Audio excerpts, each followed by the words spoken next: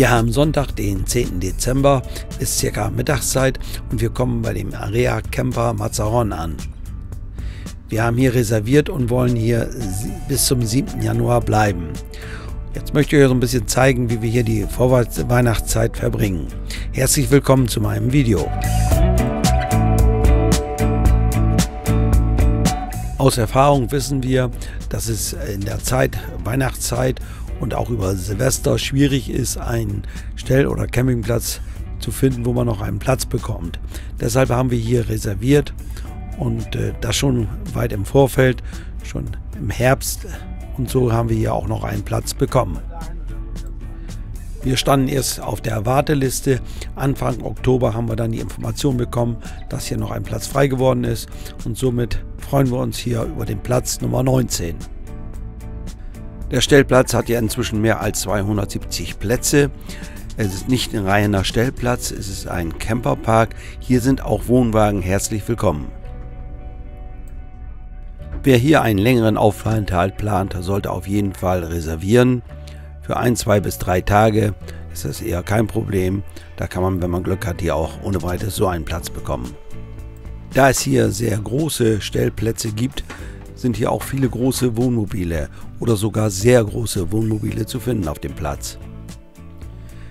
Die Plätze sind inzwischen in verschiedenen Kategorien eingeteilt. Es gibt rote, blaue und gelbe. Die roten Plätze, das sind die großen und sehr großen Plätze, die blauen die mittleren Plätze von der Größe her und die gelben, das sind die kleineren Plätze. Und so gibt es auch Preisunterschiede zwischen den großen und kleinen, zwischen 12 und 14 Euro. Und es hängt von der Aufenthaltsdauer ab, was der Platz kostet. Unser Platz hat eine mittlere Größe, also die blaue Kategorie, für uns voll und ganz ausreichend. Wir haben noch vor dem Mobil genug Platz, um uns hinsetzen zu können und die Markise kann rausgefahren werden und und und. Unsere Freunde Lisa und Horst sind hier auch. Sie sind schon seit Anfang November hier und bleiben bis Mitte März. Wir haben ja inzwischen äh, Mitte Dezember. Tagestemperaturen sind immer noch sehr angenehm, zwischen 17 und 20 Grad. Aber in der Nacht ist es schon sehr kühl. Wir haben Temperaturen von bis zu 5 Grad nur noch. Wir haben ja Vorweihnachtszeit und da wird natürlich hier und da an den Plätzen auch etwas dekoriert. Wir haben auch ein bisschen dekoriert, von zu Hause was mitgebracht und haben hier die Palmen so ein bisschen geschmückt. Das muss man nicht, kann man aber machen. Das Ganze sieht man natürlich nur bei Dunkelheit überwiegend. Am Tag ist da kaum was von zu erkennen. Am Abend ist es auch sehr ruhig auf dem Platz, kaum jemand ist draußen, ganz klar bei den Temperaturen, da geht man rein ins Mobil, ins Warme. Aber einen habe ich noch draußen getroffen und da hören wir mal rein. Sehr schön bei dir aus. Du hast ja so weihnachtlich geschmückt hier. Ja, jetzt siehst du meine Unordnung. Ich habe gerade Pizza gemacht. Achso, du hast wieder, ja, magst du ja mal gerne. Ja, das sieht aber doch toll aus hier. Ja. Und äh, isst du die Pizza selber oder bekommen die anderen Leute auch? Heute hat äh, der Chef hier bekommen. Oh. Im Restaurant habe ich welche gemacht, ja, und, ja. Und meine Nachbar hier. Ja, das ja. ist doch schön. Ja, ja. So gut an, ja. Ja, wir haben uns im letzten Jahr ja hier schon getroffen. Genau, ja. Und da hast du ja schon ganz aktiv hier die Leute versorgt. Ich muss die Zeit rumbringen. Ne? Ja. Lu Luigi, du hast ja eine spezielle Küche hier. Äh, erzähl uns kurz, was, was es hier ist, genau. Ja, ähm, ich habe diese Pavillon gekauft, weil ich kein Vorzelt bauen wollte. Weil ich, wenn du wegfahren willst, musst du alles abbauen. Ne? Ja. So, und deshalb, äh, und dieser Pavillon hat diesen Reißverschluss hier, also kannst du vielleicht auf dieser Seite sehen. Ja. Ne? Du kannst ein Feld rausnehmen. Du kannst ein Feld aufmachen und ja. dann ist genau die Größe von meiner Garage. Ja. Und dann kannst du die Küche rausziehen. Ne? Richtig. Also hast du dir das so gemacht mit Schienen? Genau, dass, die Küche ist hier auf Rolle, ne? die kann ich einschieben. Ja. Ne?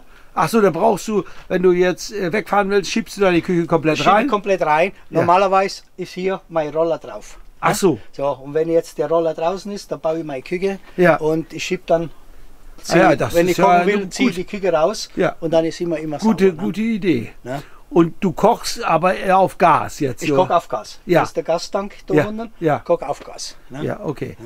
Ja. Und ich koche nur draußen. Im Wohnmobil wird nichts gekocht. Nein, nein, das Nein, riecht ja immer nein. etwas. Ist, Ja. äh, alles, was lecker ist, riecht auch, sage ich Genau, immer. egal was ist. und gut, zufrieden, Frühstück, ne, die Genau. Frühstücksei und so, Ja. aber sonst Ja. wird draußen gekocht. Ja, schön. Luigi, wir sehen uns. Ja, jetzt hast du, gut, wie gesagt, ich habe heute die Pizza gemacht, deswegen jetzt bin ich beim Saubermann. Alles Das gehört klar. auch dazu. Ne? Genau. okay, ciao. Danke, danke. Jo. Luigi hatte vor seinem Ruhestand eine Pizzeria, wenn ich das richtig weiß. Und da kann er wohl noch nicht ganz loslassen. Und ist ja auch gut für ihn. Er hat Spaß dran.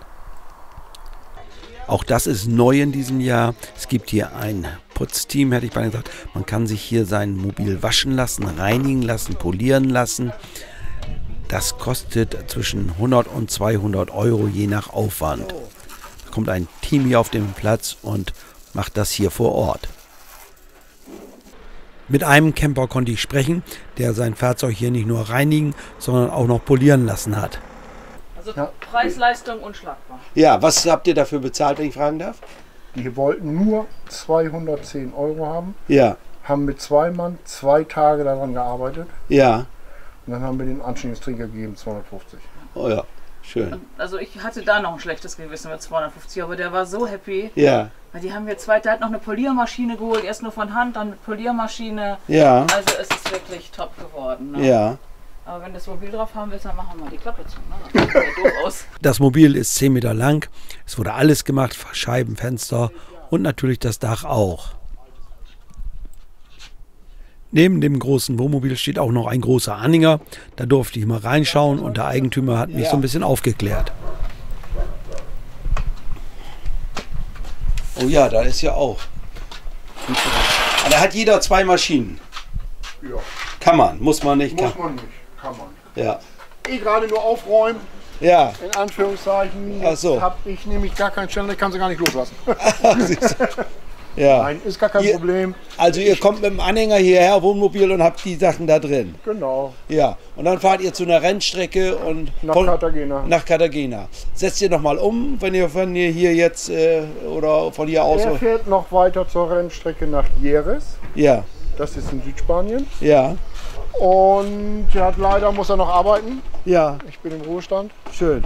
Und dann geht es für uns Ende Januar nach Cartagena. Ah ja. Und da findet ihr auch einen Stellplatz, wo ihr dann. Äh, wir sind dann auf der Rennstrecke. Ihr seid dann auf der Rennstrecke. Okay, okay. Und ich schalte sie mal in die Sonne. Ja, das sieht gut aus.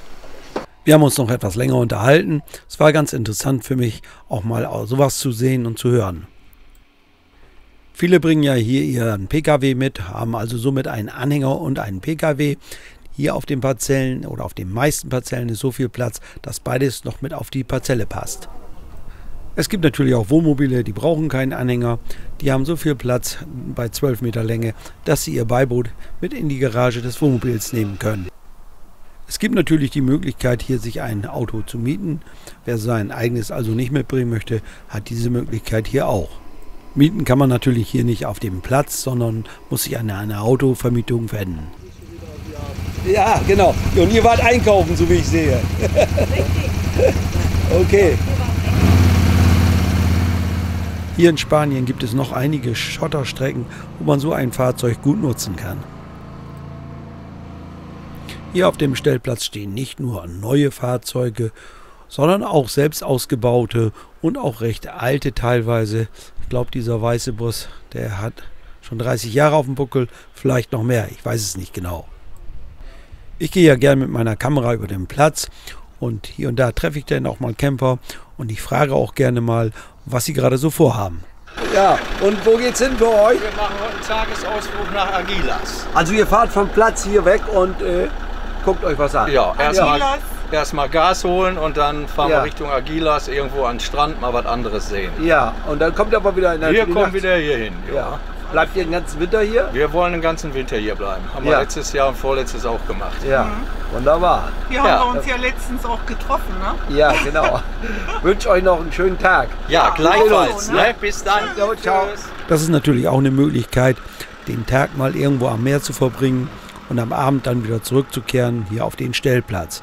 Machen nicht viele, aber einige machen es. Jetzt vor Weihnachten findet hier auch ein Weihnachtsbazar statt.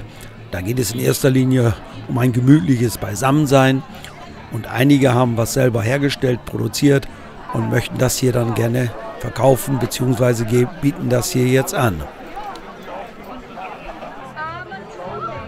Viele bleiben ja den ganzen Winter hier auf dem Stellplatz und vertreiben sich dann die Zeit mit Basteln. Basteln dann nicht nur für sich was, sondern basteln auch was, was sie hier zum Beispiel anbieten. Die meisten Camper sind ja gesellige Menschen und freuen sich über so ein Angebot, dass man sich hier mal an einem neutralen Ort trifft und zusammen was trinkt. Ach, das ist ein Hotdog. Ja, ja, genau. Das war das Brötchen mit. Ja, ja, Schatz, kannst du mal gleich so noch. Hast du jetzt dem Hartmut die Arbeit weggenommen?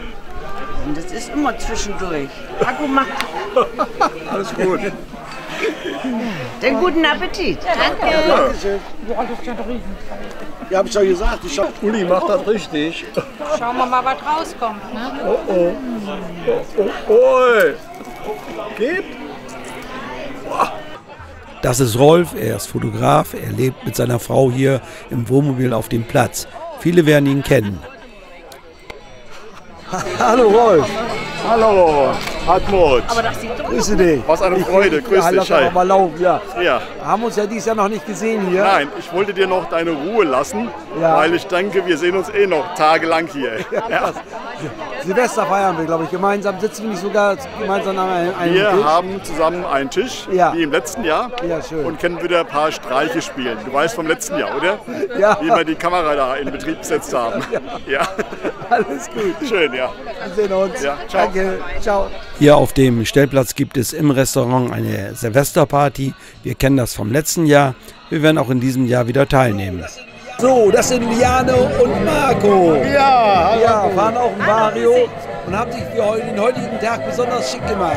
Ja, Ja, für die Weihnachtsfeier. für die Weihnachtsfeier. Mit hier. Buschel. Mit Buschel, ja.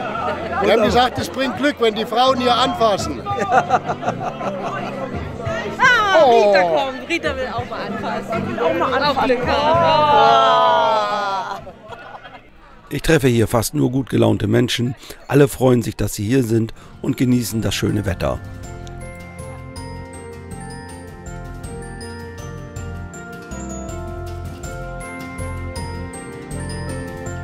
Im Außenbereich des Stellplatzes ist ein neues Gelände entstanden oder beziehungsweise ein eingezäuntes Gelände gibt es dort. Und zwar hat man dort mehrere Buhlbahnen angelegt und es gibt einen Auslauf für die Hunde. Es gibt ja im Innenbereich schon einige Bullplätze, die haben aber meistens nicht gereicht. Der Antrag war immer groß und somit hat man hier im Außenbereich weitere Plätze erstellt. Man trifft sich meistens in den frühen Nachmittagsstunden, um hier zu spielen und jeder, der Lust drauf hat, ist hier eingeladen und darf gerne hier mitspielen. Der größere Teil des Geländes ist für die Hunde erstellt worden, damit sie einen ordentlichen, schönen Auslauf haben. Das ist ja der neue Hundeplatz. Das ist ja der neue Hundeplatz jetzt hier. Ja, genau. Und äh, gehst du jeden Tag hierher mit deinem Hund? Äh, ich gehe mal ins Gelände oder auch mal hier hin. Ja. Äh, je nachdem, auch wenn mal andere Hunde hier sind, dass er auch so ein bisschen spielen kann mit den anderen Hunden. Ja. Und äh, ne, ist schon schön der Platz hier. Also kann man nicht anders sagen. Nee. Ja, hat er ganz toll gemacht. Aber ich gehe auch gerne mit ihm, wo er dann hinten frei laufen kann im Feld und so weiter. Ne? Das ist hier auch möglich. Das ist hier auch möglich. Ja, ne? okay. Aber man muss einen angeleint haben, wenn jetzt hier noch mehr Hunde sind, oder? Nee, die Hunde, die meisten vertragen sich untereinander und die regeln das ganz schnell untereinander. Wenn Ja. mal einer so ein bisschen aufmüpfig wird, Ja. äh, das machen die unter sich eigentlich. Ne? Ja. Ja. Schön. Wenn Ja. er jetzt ein bisschen aggressiver dabei ist, dann bleibt er an der Leine, dann denke ich mal. Ne? Aber ansonsten äh, ist das hier eine schöne Sache. Ja. Weil die Hunde wollen ja auch untergleichen mal sein, nicht nur mit uns. Richtig. Ja, äh, ein bisschen Sozialverhalten untereinander. Und das, Ja. ja. Schönes Gelände, hier alles sauber, ordentlich. Doch, kann man Und nicht dann anders bringt man sagen. seine Tüte mit und dann kann man Ja. hier das Geschäft Der eine erledigen. oder andere vergisst es schon mal, ne? ist Ja. nicht so schön, aber äh, ansonsten ist das ein super schönes Gelände hier. Also muss man erstmal irgendwo finden, dass man so einen Platz hat für seinen Hund. Ich danke dir für deine Ausführungen. Ja, bitte. Das ist das letzte Video in diesem Jahr, das wir hier veröffentlichen. Wir haben mehr als 60 Videos in diesem Jahr veröffentlicht. Sie wurden alle gut angeklickt. Darüber haben wir uns natürlich sehr gefreut. Danke auch an die vielen Abonnenten Auch darüber haben wir uns gefreut. Wir wünschen euch allen frohe Festtage, kommt gut rein ins neue Jahr und würden uns freuen, wenn ihr im nächsten Jahr hier wieder dabei seid. Dankeschön fürs Zuschauen und bye bye, bis zum nächsten Mal.